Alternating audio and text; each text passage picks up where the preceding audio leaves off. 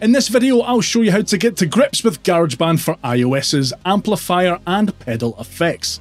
I'll demo how to switch between different amp and pedal models, how to set your input level, and how to make sure your guitar actually stays in tune. You can connect an electric guitar or electric bass and play it using a variety of very high quality amp sounds that combine a guitar or bass amp with one or more Stompbox effects. You can adjust the amp controls, add Stompbox effects to customize your sound, and visually tune your instrument with the built in tuner. To choose a guitar or bass sound, tap the name at the top of the screen, then tap the sound you want to use.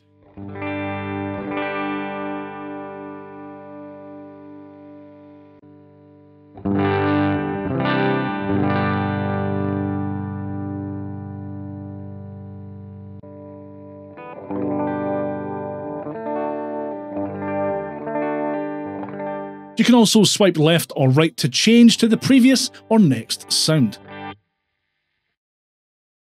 To switch between guitar and bass sounds, tap guitar or bass. To change the amplifier, swipe the amp to the left or the right. When you play your guitar or bass, a circle next to the input settings button here lights up green to show that GarageBand is receiving input from your instrument. If the circle turns red, lower the volume on your instrument to prevent distortion or clipping.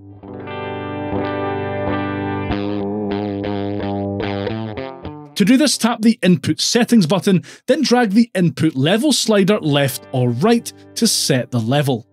Bear in mind that the input level slider is only available if your input source, i.e., an audio interface, supports software level control. If it doesn't, you'll need to control your input level on the device itself. To set the level automatically, tap the automatic switch next to the input level slider. To adjust the amp controls, simply touch and turn the knobs to adjust the different parameters and controls.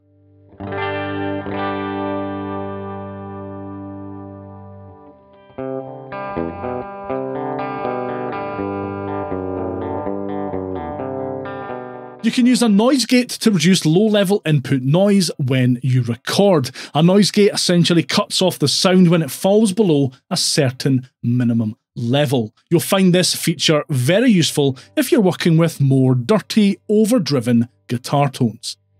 Tap the Input Settings button, then turn Noise Gate on.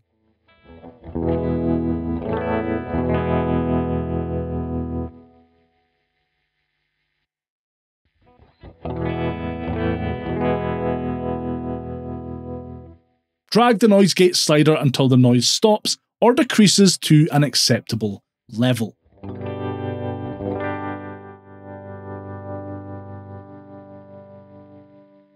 When an electric instrument or audio interface is connected to your iOS device, a monitor switch appears below the noise gate controls. To adjust this, tap the Input Settings button, then tap the monitor switch to turn monitoring on. Tap the switch again to turn monitoring off. You can add up to four Stompbox effects and change the order of Stompboxes by dragging them to the left or right. To add a Stompbox, tap an empty Stompbox slot, then select a Stompbox.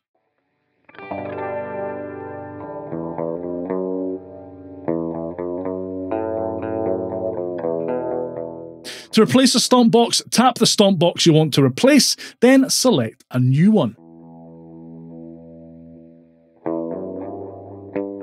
To remove a stomp box, drag it down towards the bottom of the screen. To turn a stomp box on or off while it's present in your chain, tap the round on off button on the stomp box itself. If the small round LED, it's usually red, on the stomp box is lit, then it's turned on. To adjust the stomp box controls, drag or tap the knobs and switches to adjust the controls.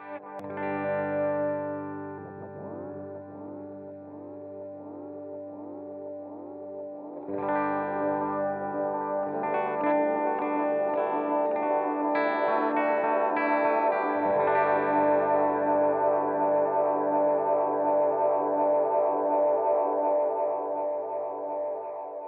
can tune your attached guitar or bass using GarageBand's built-in tuner.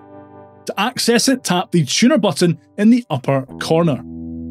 Play an open string you want to tune, watching the tuner. The red horizontal lines show whether the string is too low, flat, or too high, sharp. When the string is in tune, the note name in the centre turns blue.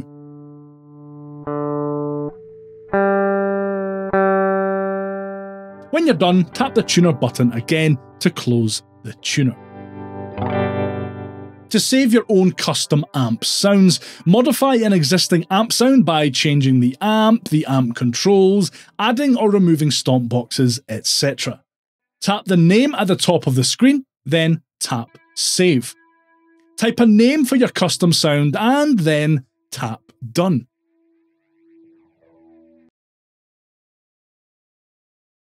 Thanks for watching to the end. This video is actually an excerpt from my full course, GarageBand for iPad and iPhone, the Ultimate Beginner's Guide.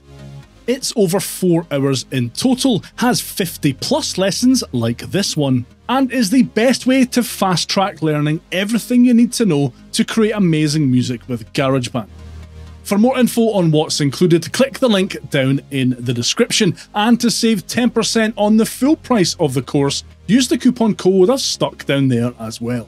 Thanks again for watching, and if you're wondering how GarageBand's stock amp and effects measure up to other third party iOS guitar apps, watch this next.